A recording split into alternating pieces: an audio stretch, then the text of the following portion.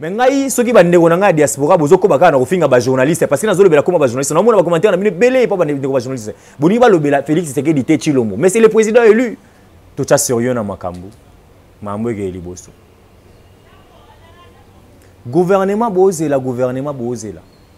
yango nini naosilisela soki le président félix azalaki kaka na joseph kabila na nsima gouvernement ningai mabanda kala nde boloba wana ke ah, aza etikete aye échantillon mwana mboka aza mayele aza sage yo kondima moto abima président élu bapesa ye 20 ministère bandeko mosusu bazwa 35 alinga ngo te bapastere basimana na banzoto nyonso wana mpo wani mpo na pose mpo bayebi nini bakuta na félix elombo tshisekedi apesa enveloppe bana poto bolingi to soutenir makambo wana te ngai toko denoncer yango eza malamu te boya to partager ba idée comment est-ce que tokosala tala mboka oyo kongo eza monene ngai ba kongo eza lokola continent yango bomonaka baoccidentaux wana tututu baza na misu na kati na biso mais ntango bokoluka bocombattre mwana mboka félix tshisekedi tshilombo nzambe mpe akopermettre yo te omona makambo na yo nyonso yo akoma bloke ozo mi benga na la diaspora naza mwana poto moto awati lelo mbongo yolonga na kinshasa ekende kuna Radio Bisonyoso Congo, RDC, une chaîne au cœur du monde. Merci mingi pe mbote mingi na bino banso bozwami na ngonga oyo ya kolanda bense tele bense tele eza bongo chaîne na bino en ligne bomesana kozala na biso mpo na kosala baanalyse mambo etali actualité na kati ya ekolo congo démocratique mpo na kobeta lisolo ya politike na kati ya mboka na biso euh, rdc lelo na ye tosolola na bino lisusu parce que boyebi euh, mboka na biso ezali pena na vivacité ya baactualité politique pourquoi pas sportive tozobana yango mpe kala mingi te rdc aza qualifie na, na can 2019 égypte mais lelo na ye tosolola na bino na bapoint misato essentiel alors ya liboso na olinga tosola mingi na likambo etali euh, plateforme politique lamuka euh, lamuka boyebi coordonnateur nango moïse katumbi chapwe euh, oyo azokita na kati ya euh, capitale ya rdc oyo ebengi kinshasa euh, le 20 juin toye liso tosola na bino na matali président félix tshisekedi tshilombo na gouvernement na ye oyo tozozela yango kala mingi te mpe lisusu na likambo etali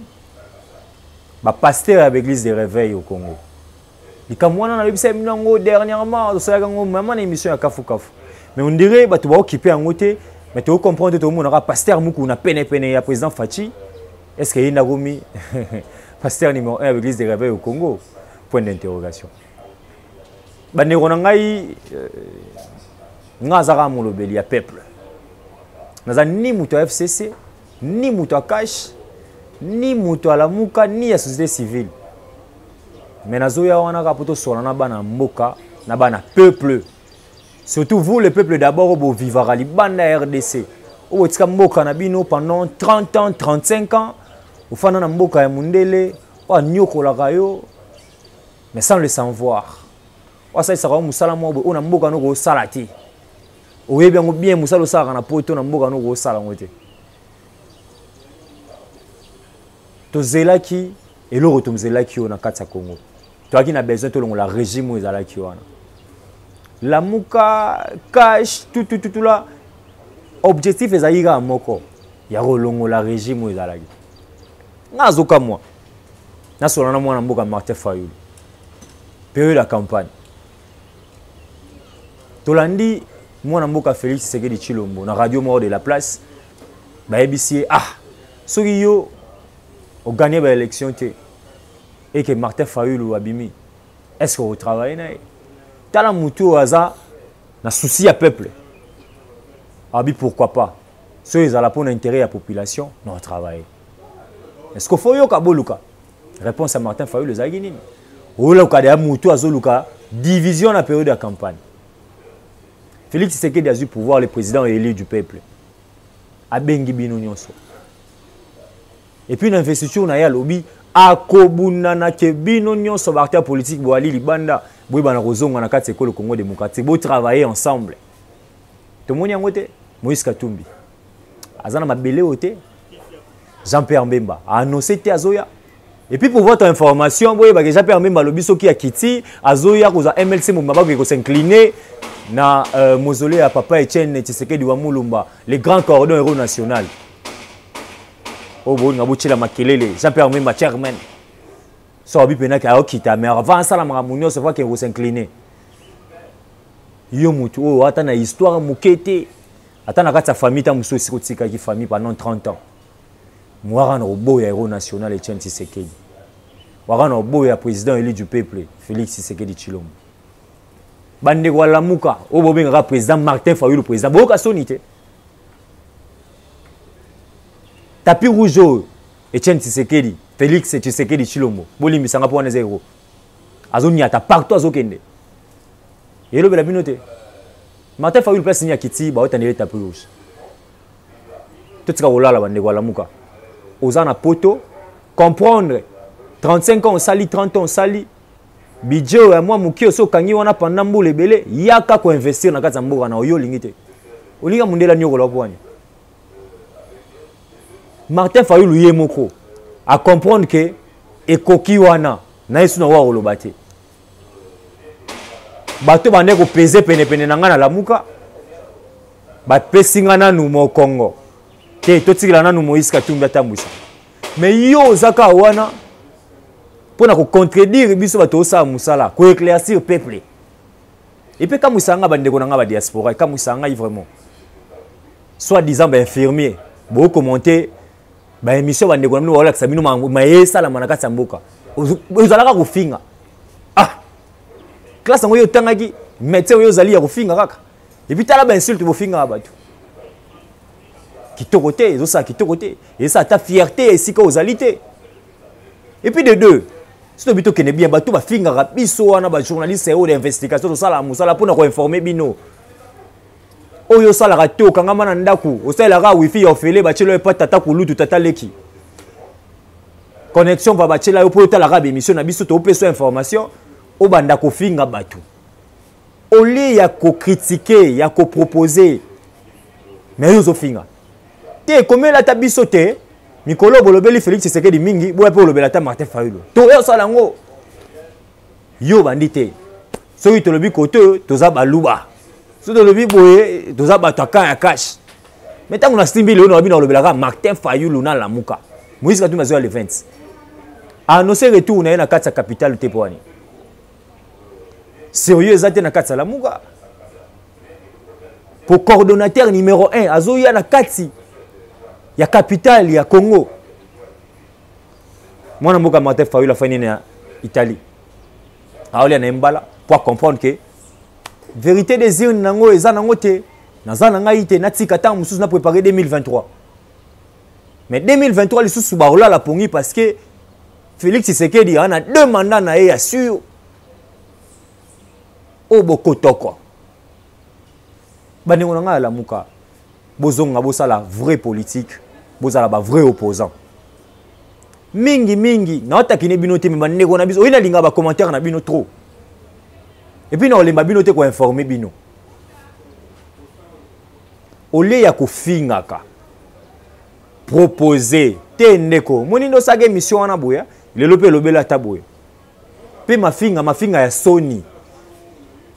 soki mwana no atali bacommentaire oyo osalaka mpo na bato bazosunga peuple tozosunga bino libanda ya mboka ozala informe oyebake nini ezoleka na kati ya ekolo congo démocratique bayoki oyo ofingaka eza dine te bosisi baklasse na bino a balisansi ebele boza na poto a mais tala kopo osalaka na poto natanga bakombo te tala kopo osalaka na poto baingénieur ebele bwana poto tala baza mike oyo bazo exerce na kati ya bacompagnie to na kati ya baentreprise oyo eza reconnu to totala makambo oyo ezosalama na kati ya mboka na biso topropose enok kofinga botanga cour ya moralité éducation civique Nord. Totika tribalisme oyo. Mafa président, le président Martin Fayulu aza président ya ECD. Asi alongwe pe na plateforme la muka politique. Bozolota nini? Bobenge so président bwani. Bobenge le président Martin Fayulu ECD. Parce que Moïse Katumbi kutu 3 mois na pe komi dako kende. Soki sili Freddy Matungulu mutu akozwa. Pona information sous na bino, tamusu boza na koyeba te. bandeko na ngai jean pierre mbemba azoya le 23 mais coordonnateur azokoma liboso nyonso wana ezoloba bino eloko te soki kaka esalami pa président kuna prince akuna basalaki te e tala 100 jours talaki ngani oh. emoyebi te ke président félix tshisekedi ayaki kosala programme ya 100 jours wana mpo na kopesa coup de sifflet misala ebanda ezalaki te ye akende kosala misala wana mais tande bokritika bobengana bafamille boza baoyebisa bino ke 100 jours eza positive nayesa bino likambo etali gouvernement likambo martin fayulu likambo alamuka na baki ezala ngoka parenthèse mpo nayebi ke bokokoma liso ebele président aza kaka moko président aza kaka moko oyo azosala oyo azozwa tapis rouge baonere ebele botali bamatanga te botali bakamara bahomologue na ye botali baprésident libanda libanda wana nde baye nde bapesi ye balokumu batunaki wapi le président eli martin fayulu batunaki yango non totika kolota bandeko na ngai nazobandela oyo zonga na mboka na yo yaka koinvestir osali 40 ans na poto ndeko na ngai yaye misusu nde okenda poto wana oteka parti ya lopango ya mama ya papa mozongisango nanu te oyebi okenda poto na dv loterie me oganga na poto basungi ozonga na mboka na yo osi ozwi omoni bidjo oza nango wana so oye na epoka lelo osala mosala ya bien so oza na baprojet te komelanga na nimero eza wana na bapropose ata baprojet oneni okosala makambo na bidje na oza nango wana na banke wana otambusa obanga so na ye na kini te makambo esi change na kini botikela biso déjà le président eli alobi akosala presse quatrième pouvoir ya solo solo siko bino bofinga biso mpo ah totika tribalisme eza bien te me ngai soki bandeko na ngai ya diaspora bozokoba kaka na kofinga bajournaliste parce que nazolobela koma bajournaliste naomona bacommentaire na bino ebele epa bandeko bajournaliste bolingi balobela félix tshisekedi te tshilombo mais c'est le président élu ya peuple mambo azosala ifo tocontrole yango mpo topesa bino sango nga soki nakenda bandi koloba boandi kofinga soki bomoni moto aza kaka akati kovo alati veste aza moluba siko alata ndenge nini ngai eza style na ngai oyoka kombo na ngai na moluba te omoni ngai naosala na présidence tochange tochange bizaleli na biso eza malamu te bandeko na ngai nalingaka bino tellement mingi bokangeli bandeko na biso bamusicien nzela koya kuna soit disant le combattant lelo kofi olomide ye wana ti awa na poto bobeta ye kasi felix eh, eh, kofi olomide ayemba kiti oyo kiti oyo boyebi ti me ye wana aza kuna le pouvoir eza sikoyo na maboko ya peuple donc je vous rassure ke ata nde boza na moto akosimba nde kofi olomide aza te ozo comprendre tosala makambo moko ya limemia tosunga le président élu ya peuple to partager abengi bino nyonso boya boya to partager ba idée comment est-ce que tokosala tala mboka oyo kongo eza monene eh? ngai loba kongo eza lokola continent yango bomonaka baoccidentaux wana tututu bazala na miso na kati na biso mai ntango bokoluka bokombatre mwana mboka félix tshisekedi tshilombo nzambe mpa opermetre yo te omona mamona yo nyonso yo akoma bloke ozo mi benga na la diaspora naza mwana poto moto atinela yo mbongo yelonga na kinshasa ekende kuna yo moto kenda otanga baotinela yo ekende koyelongo awa tala botika ngai ye naloba mabe te bato bafingaka biso so olandi la plupart bato bafinga bajournaliste na nini po atindela ata ndeko na ata 100 dollar awa ebeta ata ba 4 mois 100 dollar kaka 100 euro bobenga 100 euro ebeta 4 mois mais je suis, je suis en paris je suis en belgique eh, toyesa bino nde bovivaka kuna botika biloko wana président aza moko torespecte ye tosoutenir ye pour que développement changement ekota na kati ekolo congo démocratique nabanzi ekozala eloo mwa malamu nakolakisa bino retour ya moïse katumbi awa ah, mpo monake naza na nga moto ya kashe te coordonnateur alamuka bokomona ndenge ekozala soki président na bino alingi kosoutenir moïse katumbi te me bato mpe alamuka mosusu bakoya kolamba ye jean pierre mpe bazoya le 23 nakolakisa bino kaka na bnc tele mpe nayebi boolongwa te namoni commentaire moko komone nani eh, aminata ah, soit disant infirmière osala na hôpital nini lakisa yango hôpital yo osalaka mpesa komo nango nayebi kokotala esu aminata nayebi kolandela makasi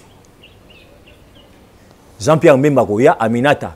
nakotindela yo lisusu video nakotindela yo lisusu lien okotala retour ya jean pierre mbemba epuis okotala bacommentaire nakosala parce que ngai naza wana mpona informe bino ke ayaki bayambaki ye to te merci mingi wana ezalaki likambo ya plateforme elamuka parceke boza libanda mboka bolinga oyeba te boyebi likambo ya erc église de réveil au congo moto azalaka numero 1 yango albert kankenza mwana mbo tokoti siko makambo bapasteur boyokaka moïse azalaka kota politike politike te kota bapasteur albert kankenza banda makambo ya baeglise de réveil ebandaki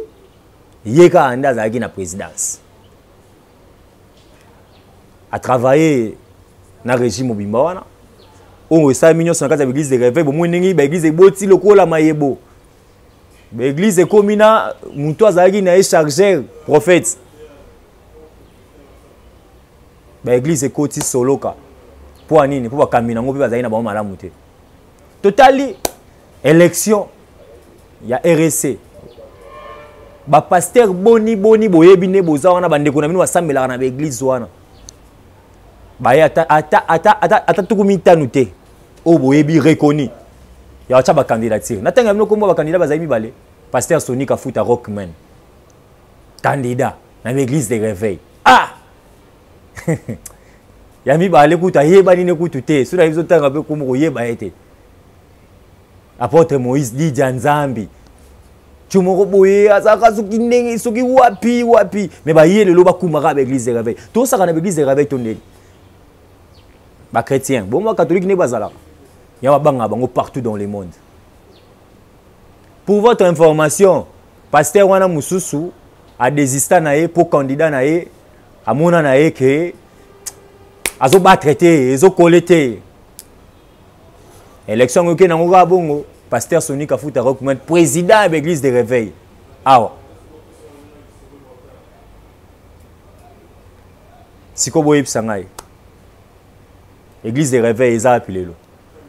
divergence ya kosakana te nayebisi bino na baélection wana bapaster babebana na ministère ya justice awa bokondima te epesa soni secrétaire général alobi non ça ce n'est pas le serviteur de dieu soni bapaster basimana na banzoto nyonso wana mpo wani mpo na poste mpo bayebi nini bakuta na félix lombo tshisekedi apesa enveloppe bana poto bolingi to soutenir makambo wana te ngai tokodenonse yango eza malamu te baeglise de réveil eza lisusu na charte ya malamu te boyebi moko na moko ya bapaster epuis oyo nyonso batambwisi nkombo ya nzambe na mabe boni nzambe afrape bango boyebi me baoya esu lelo bakamba lisusu bakristo to mpe bakretien lelo bondima yango biso tokondima yango te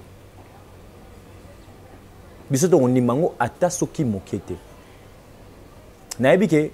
bandeko na bino ebele baosambela na baeglize wana me boconseille bango wisango tolandaki ndeko moïse molobeli ya peuple ah,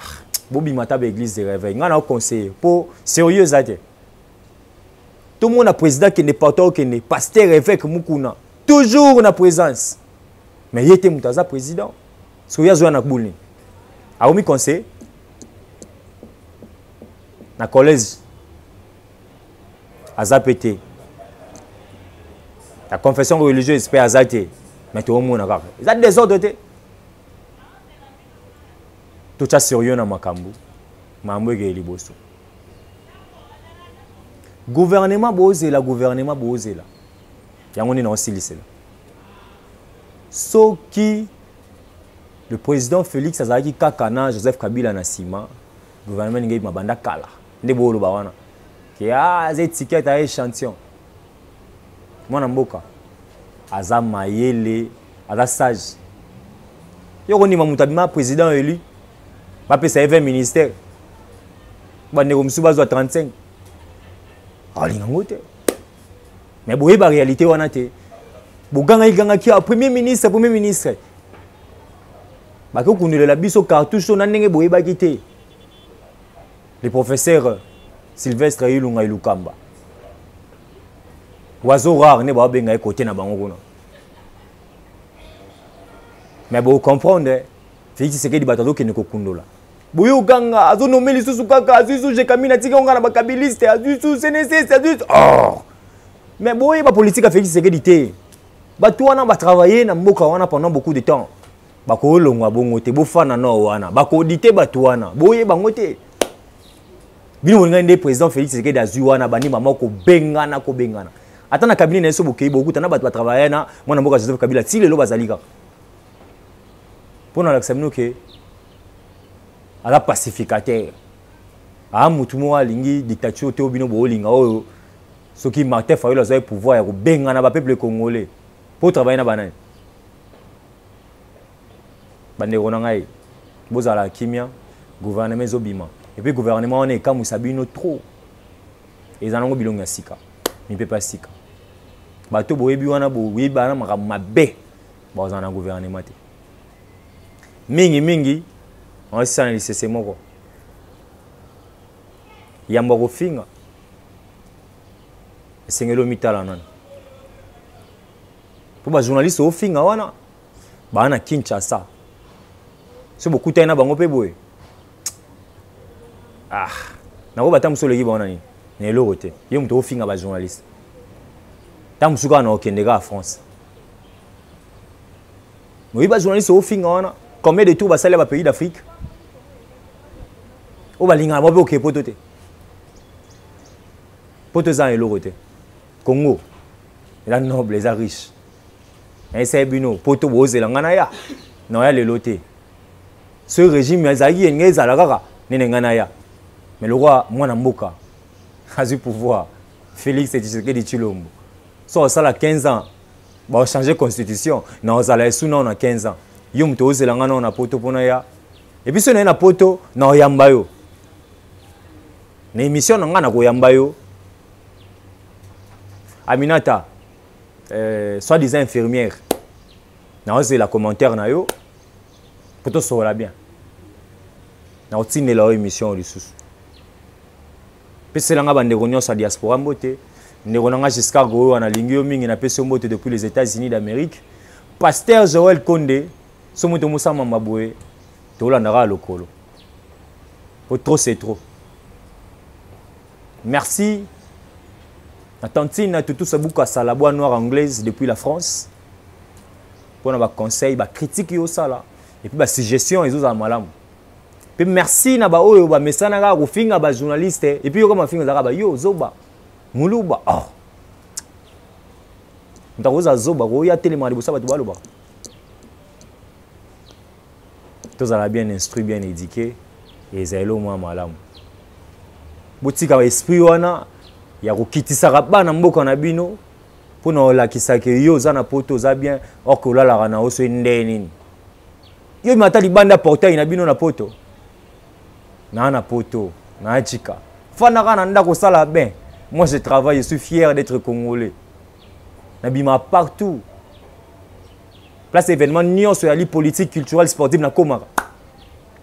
yo place mambo esalamaka na france okenda na champs élysé okendaka na états-unis okendaka na tour efele okendaka ofandaka ofanda na ndako basel fo salela bato na kolia kolia bando okendelaka soki noko soki camarade ozela 15 a balukelo mokanda zonga na mboka na oya kotravaille docteur licencie naozela baréaction na bino tour eza ya critique ya suggestion et non ya mafinga so ofingi seke omifingi nde yo moko merci mingi na équipe technique toyaki bongo na exauce kokola rolina ways euh, kimbangu merci na norbert mpe euh, mokonzi na biso ya rédaction ah, yesu nabosani alobaka mpe moye ezobosana nga trop gay mamadou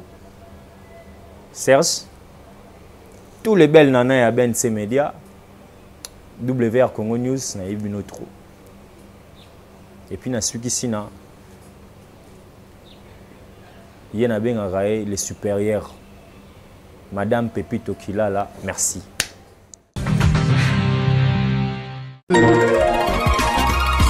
Vous êtes sur la radio Bissonioso Congo RDC